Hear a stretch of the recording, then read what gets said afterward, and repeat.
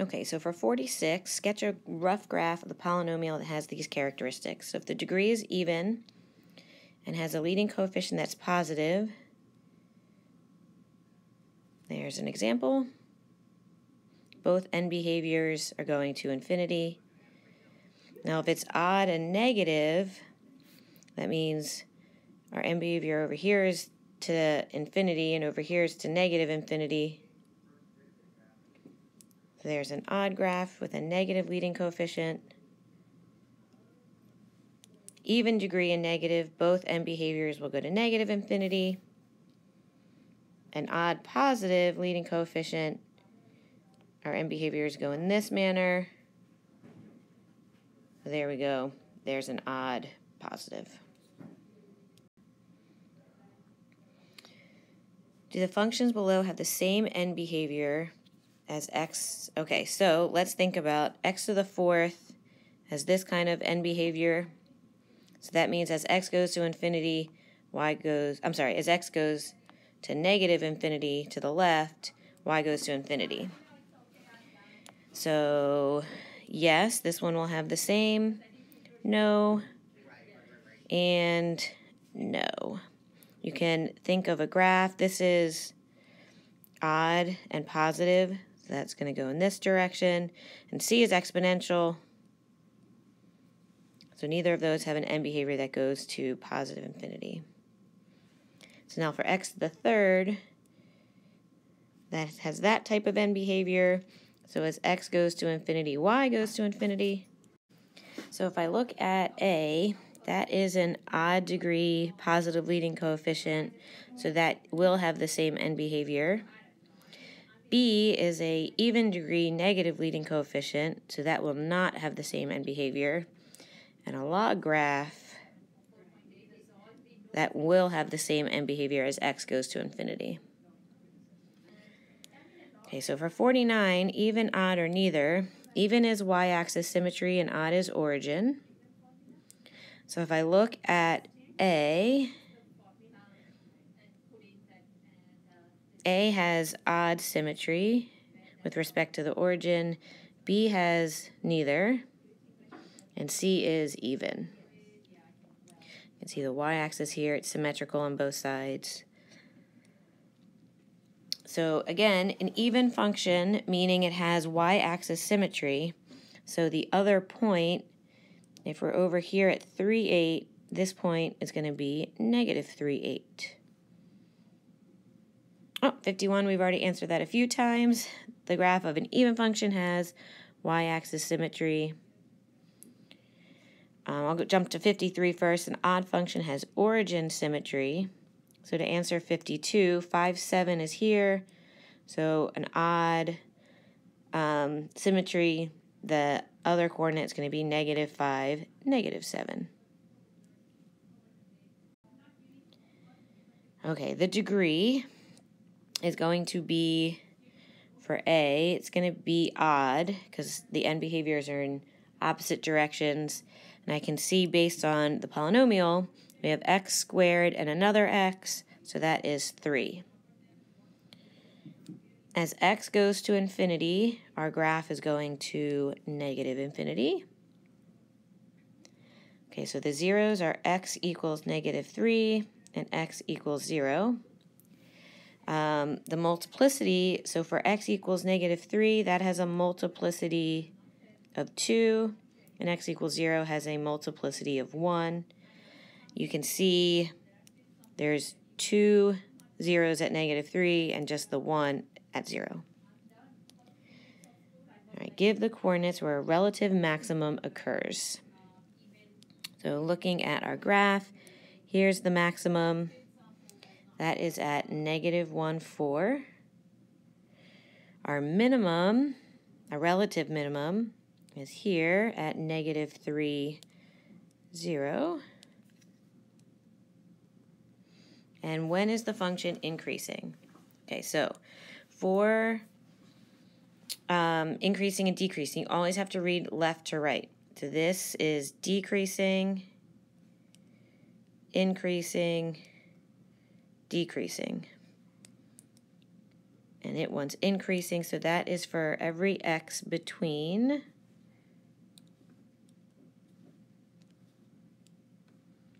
negative 3 to negative 1. As an interval, you can also see, I'm sorry, you can also do the bracket interval notation, and that also means from negative 3 to negative 1. Okay, for 55, we're going to do the same kind of process. If I think of the degree, so let's see, we have 2, 4, so the degree is 4. As x goes to infinity, our y values are going to infinity. All right, our zeros, x equals negative 1 and x equals 3, and they both have a multiplicity of 2.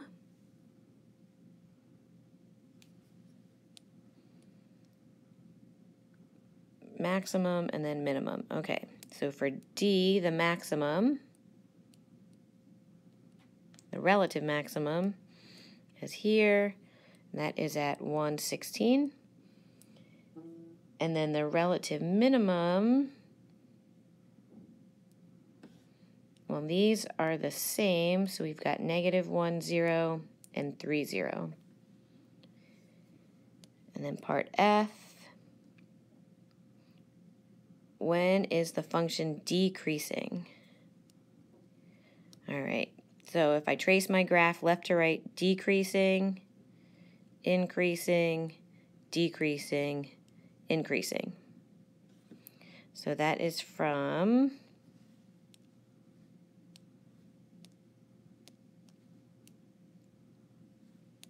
negative infinity to negative 1 and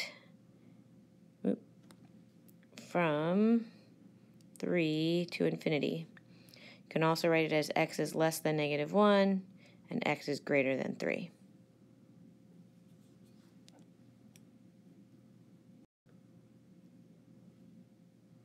Okay, write the equation. So if my zeros are at x equals negative 2 and x equals 0, but I notice that negative 2 here, that has a multiplicity of 2, my equation is going to be negative 2 as a leading coefficient, x plus 2 squared, and then times x.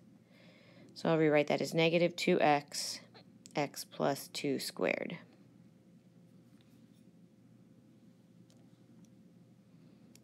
All right, similarly for 57, my zeros are negative 1, 0, and 2, but I notice 2 is repeated as a multiplicity of 2.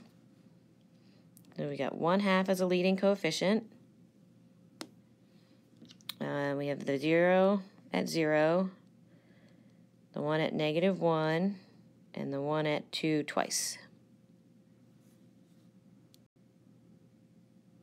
All right, so we have to add F and G. So I'm going to combine like terms and it's in standard form because the exponents decrease in order starting at highest to lowest. Okay, subtraction, that's going to be minus 2x squared minus 9. So negative x squared plus 2x minus 16. The degree of the product of f and g. So x squared times x squared will be x to the fourth. D, g times h, so x squared times x is a degree of 3.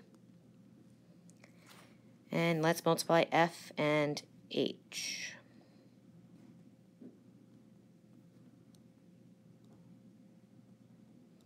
So you can distribute um, if you want to stay organized, you can use a box.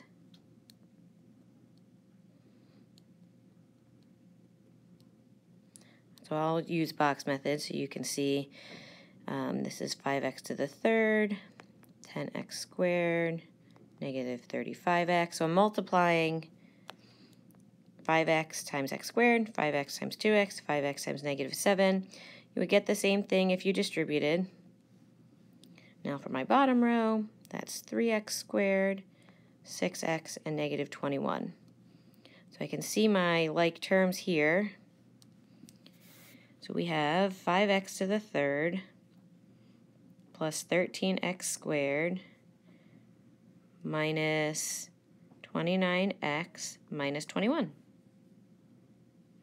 Okay, so now we have to do f and g.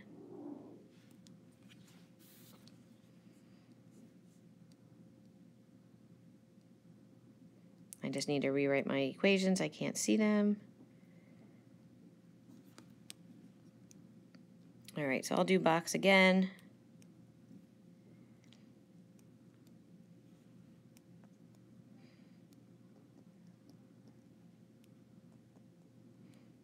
It doesn't matter if you did the trinomial as the vertical or horizontal piece. It's a personal preference.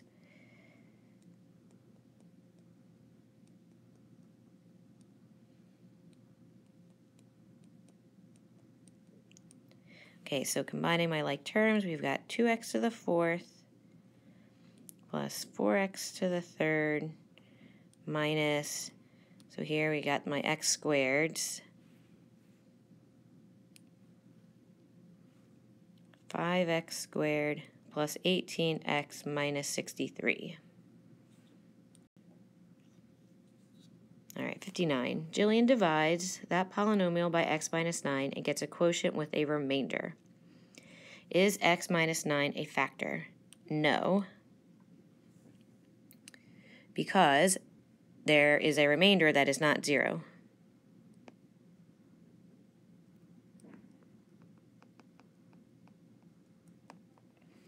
So what is the value of f of 9? Well, because the remainder was 145, the value is 145. Okay, so now Jake divides that polynomial by x minus 3 and gets no remainder. So what is the value of f of 3? Well, it's going to be a 0 because the remainder is 0. Why is x minus 3 a factor? It's a factor because there is no remainder, or because the remainder equals 0. Okay, so let's factor. Um, when we divided, so x minus 3 is a factor, and we were left with x squared plus 6. So writing f of x as in factored form, we'll get x minus 3 times x squared plus 6.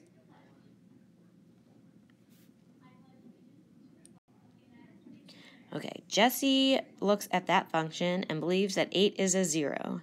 He decides to test his value by finding f of 8. So if we find f of 8,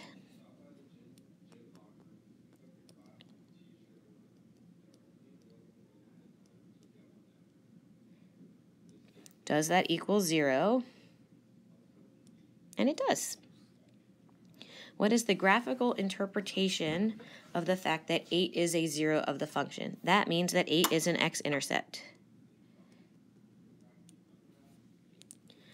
Since 8 is a 0, then by the factor theorem, x minus 8 is a factor. Okay, what's the remainder going to be? It's going to be 0 because it's a factor, so there will be no remainder. So when he divides, he gets x squared plus x plus 7. Use this quotient to determine whether the other zeros are real. Okay, so let's solve that. Hmm. Um, it doesn't factor. Nothing multiplies to 7 that adds to 1. It, I'm not going to want to complete the square since this is 1. So I can do quadratic formula.